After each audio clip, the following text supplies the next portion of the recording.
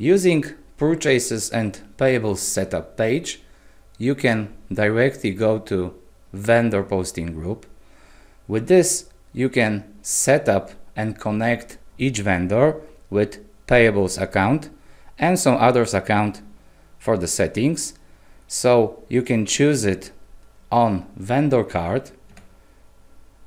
I just quickly show you where and this is the most important setting on the vendor. So here you have vendor posting group connected with it and pointing payables account for each vendor transaction.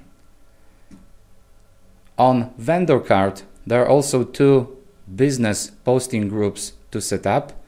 First is general business posting group that tells the system how to treat each transaction with, the, with this vendor.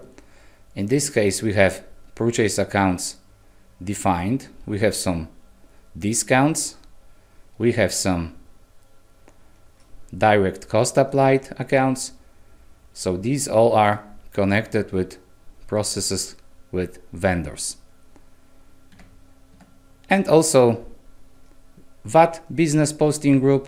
This connects our vendor